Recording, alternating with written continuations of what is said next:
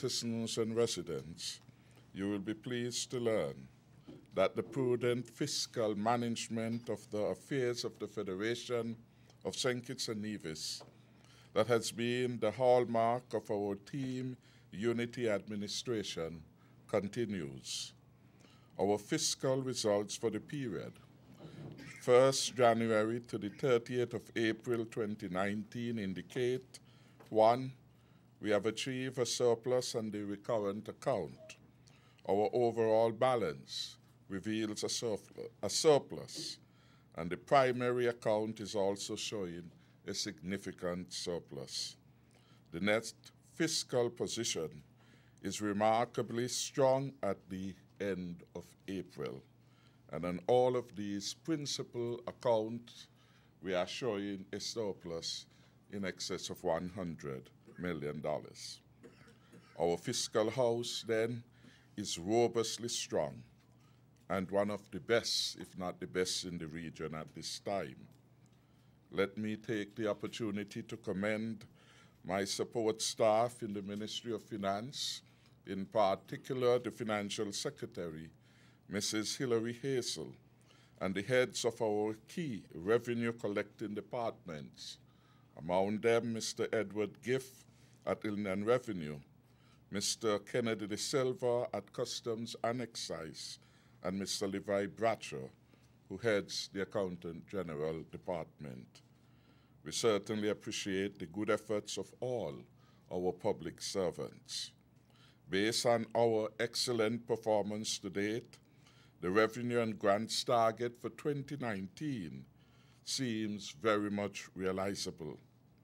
Contrary to the doom and gloom presented during the 2019 budget debate from an opposition out of sync with the virtues of fiscal management, our projections so far have proven to be conservative and realistic. Very significantly, we are likely to surpass our best estimates of revenue for 2019 should the positive returns continue at this pace.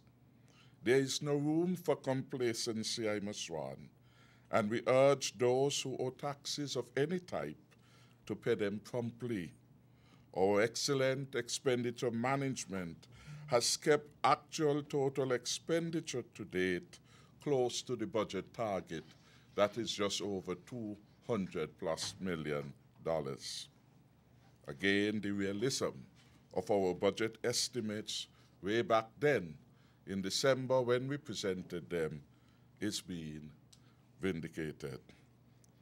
Our healthy and growing economy is producing record revenues at levels to cover our expenses and produce savings for a rainy day and for our legacy projects like the Unity Bridge connecting St. Kitts and Nevis. Our CBI program enters its 35th year this year. It remains the first and the best citizenship by investment program in the world. Our program has provided the intellectual underpinnings for subsequent programs and permutations thereof by countries such as the United States of America, Canada, Malta, Cyprus, all of which have their versions of the CBI programs. Our program provides an alternative pathway for attracting foreign investments to spur economic growth, create jobs, build out the resilience of our country to climate change and catastrophes, and to allow our people the opportunity to meet the United Nations Sustainable Development Goals. For the second time, St. Kitts and Nevis will host the Caribbean Invest Summit over the period 19 to 21st June 2019. We are grateful to be hosts of this prestigious event and to build a network for greater cooperation and harmonization of the CBI programs in the region. Our due diligence is one of the best in the world. It is multi layered and multifaceted using international firms and agencies. We do not accept applicants from states labeled as uncooperative in the fight against terrorism or considered to be rogue nations. We cooperate extensively with the European Union, the United States of America, and Canada. We have excellent relationships with our regional and international crime fighting agencies, including IMPACS, including the JRCC and Interpol. Our support is reflected in that we keep our contributions up to date. We are largely compliant with respect to the OECD requirements for transparency in tax matters. We are compliant with the European Union's requirements. We change ever too often, and we are an excellent performer on the World Justice Project Rule of Law Index for 2019. We are among the top 30 best performing countries on the rule of law. We are number one in the OECS and number two in the sub-region on that index.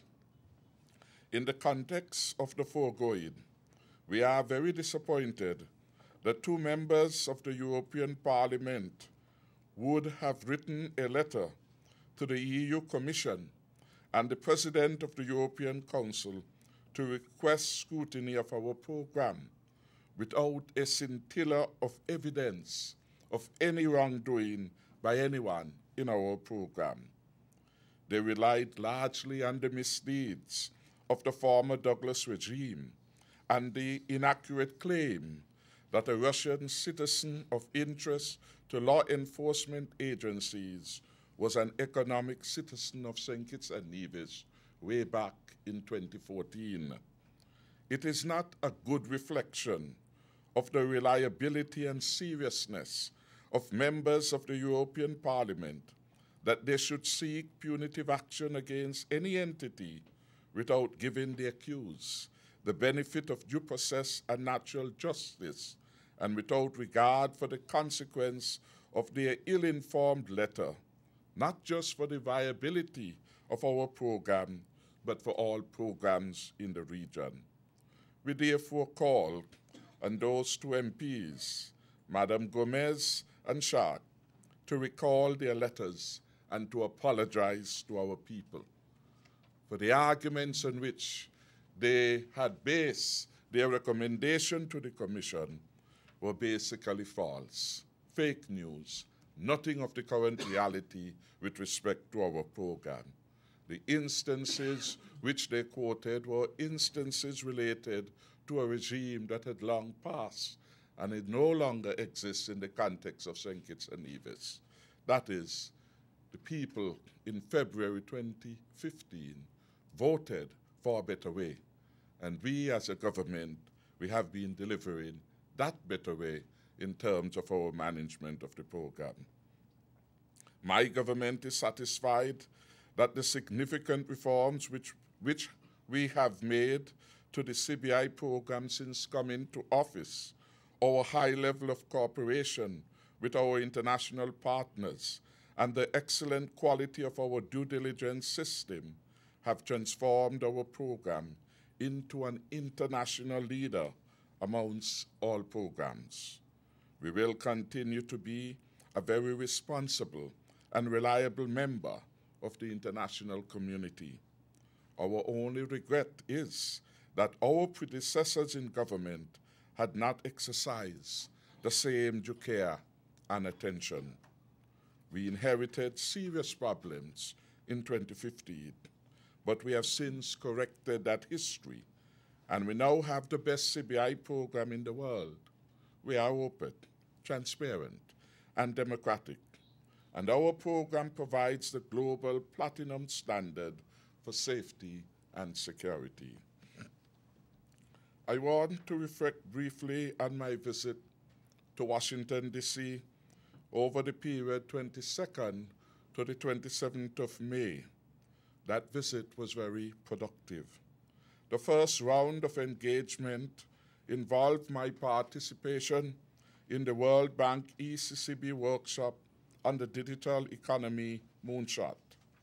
Given the ubiquitous nature of the digital economy and its importance as a driver and enabler of economic growth and inclusiveness, it was important that St. Kitts and Nevis be represented. I was supported at these meetings by the Financial Secretary, Ms. Hilary Hazel, Ambassador Dr. Thelma Phillip Browne. Indeed, I should also note my press secretary was part of the delegation, and her excellent literary skills were commended by the director for the World Bank with responsibility for Latin America and the region. And I also want to commend her because on that note she made St. Kitts and Nevis proud. I had to intervene because I gathered there was an offer to recruit her at the bank, and I said we will cease of a membership if that were to happen. So I commend her. St. Kitts and Nevis will incorporate the learning from that workshop in our build out of our ICT infrastructure, the development of our digital skills, the digital financial services regime, our digital platforms, and of course, the digital entrepreneurship in such a manner as to promote digital transformation and economic development. A high level delegation from the World Bank will visit us in the summer to render support to us in these areas and more. And in that regard, I want to commend our own local team, headed by the Honorable Attorney General, because long before this we have been discussing several new ideas, such as introducing coding into our primary schools and giving our young people a head chance, um, a, a head start in the digital economy. So we are moving ahead. As we speak, we have a specialist in that area who has visited today and has met with officials from the land registry and I gather a wider meeting is planned for tomorrow so that we could see how we could add greater value to the services. So again, I commend the Honorable Attorney General for leadership in that particular area. The World Bank is committed to working with the currency union in harmonizing policies and the legislative framework that are critical to the development of the digital economy. We have asked for support in the financial technology area, including policy and legislative support.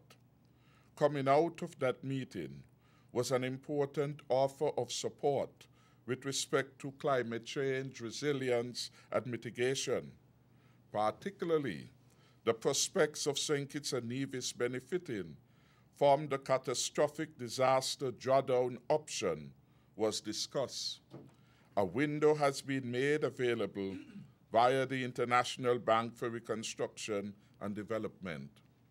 St. Kitts and Nevis, because of our high per capita GDP, cannot access international development assistance. Our GDP in 2017 was put at around 18,000 US dollars per capita. We were the highest in the OECS region and we were the second highest in Latin America and the Caribbean, excluding the USA and Canada, which are not our peers.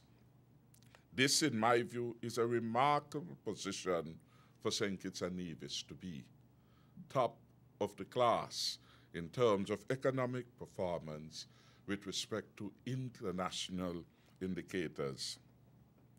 I was a special guest at the Washington National Press Club, and I engaged the media on a wide range of issues impacting our development, including climate change, correspondent banking, digital economy, and of course, Venezuela featured. With respect to Venezuela, this coming Friday, our foreign minister and I will confer with a high level representative of the Guaido faction as we seek to update ourselves on developments in Venezuela. I have also been invited by the European Union to talks to be held early in June and the said matter of Venezuela as part of, well, with members of the international contact group.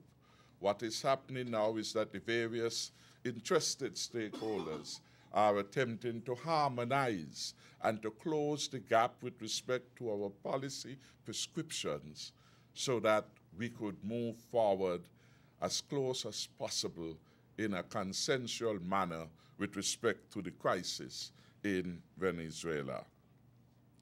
Perhaps my most memorable event outside of the conference workshop was a highly interactive engagement with our nationals in Washington, D.C. And I had two occasions to do this. Saturday at the picnic with the Nevis Nevisian Association in D.C. I had the special opportunity to meet a well known blogger residing in the USA, and I want to thank him for the interview which he conducted and which I gather had received wide listenership and view- viewership. Sunday, there was a town hall on the eve of Memorial Day. The topics we discussed there were wide ranging. We had very helpful suggestions coming from our nationals, and interesting ideas were put forward on constitutional reform, general elections, relations between the federal and local government, the cannabis industry, the kinds of investors we need to engage, and other issues in relation to health care and the national health insurance in particular. I want to thank the Honorable Patrice Liebert, who joined me and provided excellent support at that event. The 2019 Atlantic hurricane season starts on the 1st June 2019. Thanks to our Team Unity's compassionate hurricane relief program, over 2,000 families across the length and breadth of our country have received assistance. The beneficiaries include the elderly, the poor, the vulnerable, the handicapped, pastors, their churches, schools, early childhood care facilities, Carnival Village, and the UWI Open Campus Center, our fire stations and police stations all receive support under this program.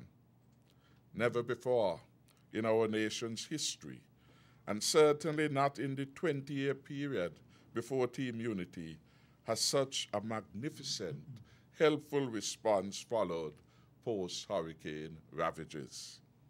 We urge all citizens and residents to avoid complacency and begin now to make their best efforts to mitigate their exposure to loss of life and damage to property. NEMA is already being engaged and has already begun work on disaster preparedness and risk reduction. And we are happy to have Ms. Southwell, Vesta Southwell, here with us today. I am pleased to advise that the Honorable Attorney General, Mr. Vincent Byron, is the new chairman of the Interministerial National Emergency Operations Committee and Cabinet's representative at NEMA for the hurricane season.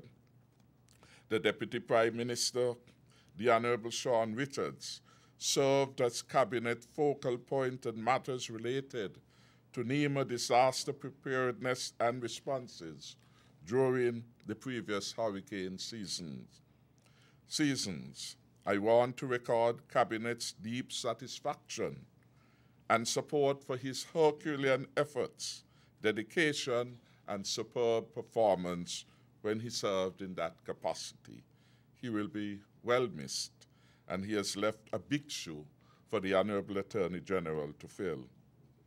The St. Kitts Evangelical Association, in collaboration with the Ministry of Ecclesiastical Affairs, has organized a national service of prayer for our safety and well being during the 2019 hurricane season. And I gather from the PS in that ministry that this event is slated for Thursday, 30th May 2019 at 7:30 p.m. The venue is the Evangelistic Center, Needsmust Estate in Basseterre. we want to encourage all citizens and well-wishers and representatives of the media to participate in that important service. Turning some personal matters, I am happy to advise that the Honorable Vance Amory, Minister with responsibility for Social Security, has informed the Cabinet that Mr. Antonio Maynard, former Secretary General of the St. Kitts and Nevis National Commission for UNESCO, has been appointed Chief Executive Officer of the Social Security Board effective June 2019. Mr. Maynard emerged as the best choice to lead Social Security at this point in time from a field of excellent candidates. Some 51 of them, I'm told, applied for the post. Amongst the candidates were nationals from St. Kitts and Nevis, the Caribbean region, and beyond, including the USA and Canada. I commend Mr. Maynard for the major successes in his own career development, and I am certain that he will surpass all expectations. I proffer my gratitude to him for his contribution to national development through the UNESCO National Commission of St. Kitts and Nevis.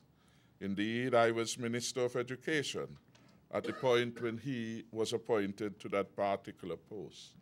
And I have seen him grow and develop into one of the most productive secretaries general in the region, serving UNESCO.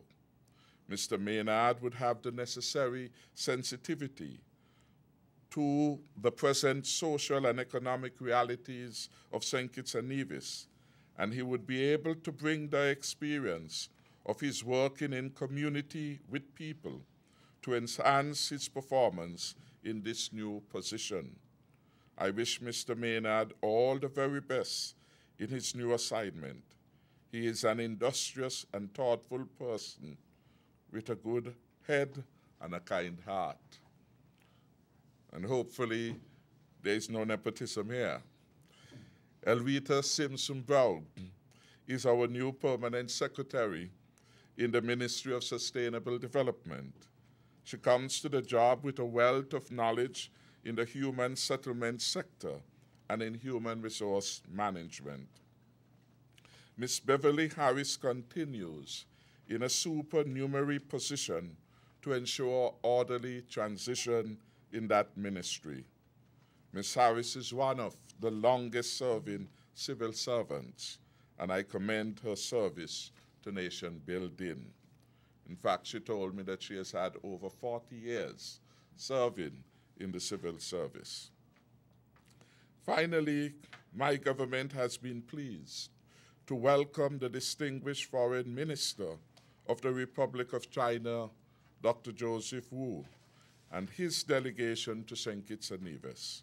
The visit helped to further strengthen our bilateral relationships, and the Republic of China, Taiwan, has pledged support for the historic Old Road Bay Rehabilitation Project, which will enhance the safety and security of our road users and improve our socio-economic life.